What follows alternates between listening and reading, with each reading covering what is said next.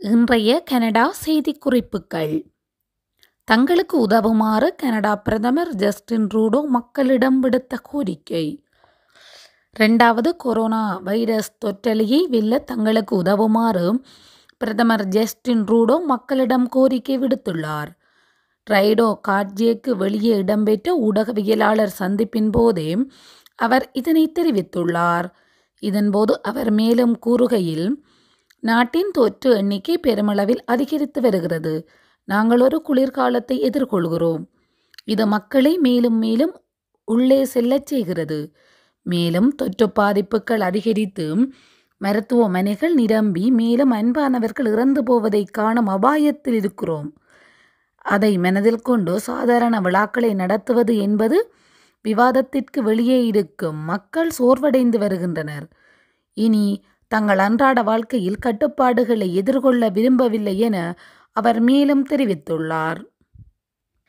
கனடாவில் உள்ள மாகாணம் ஒன்றில் அறவை சிகிச்சைக்காக ஆயிரத்தி எண்ணூறு கிலோமீட்டர் பயணித்து வந்த இளம்பெண் அறவை சிகிச்சைக்காக இளம்பெண் ஒருவர் ஆயிரத்தி எண்ணூறு கிலோமீட்டர் பயணித்து டொரண்டோவிற்கு வந்து சேர்ந்துள்ளார்.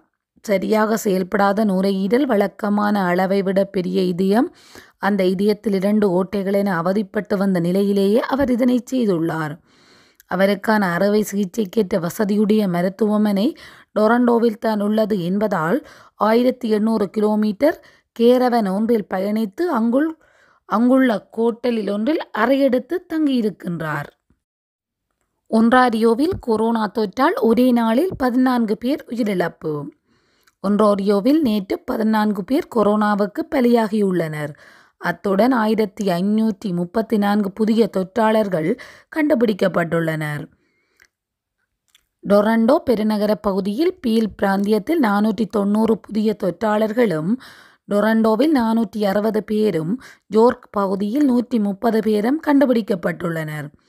தற்போது நானூற்றி எண்பத்தி நாலு பேர் மருத்துவமனைகளில் இருப்பதாகவும் இவர்களினால் நூற்றி நாற்பத்தி ஏழு பேருக்கு தீவிர சிகிச்சை அளிக்கப்படுவதாகவும் சுகாதார அமைச்சர் எலியட் தெரிவித்துள்ளார். ஒட்டுமொத்த கனடாவில் நாற்பத்தி ஒன்பது பேர் உயிரிழப்பு. கனடாவில் கொரோனா வைரஸ் பெருந்தொற்றினால் கடந்த இருபத்தி நான்கு மணித்தியாலத்தில் மட்டும் நாற்பத்தி ஒன்பது பேர் இறந்துள்ளனர். நான்காயிரத்தி எழுநூற்றி தொண்ணூற்றி ரெண்டு பேர் பாதிக்கப்பட்டுள்ளதும் இங்கு குறிப்பிடத்தக்கதாகும்.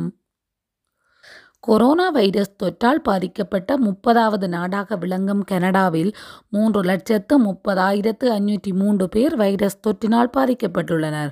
மொத்தமாக பதினோராயிரத்தி நானூற்றி நாற்பத்தி ஐந்து பேர் உயிரிழந்துள்ளனர்.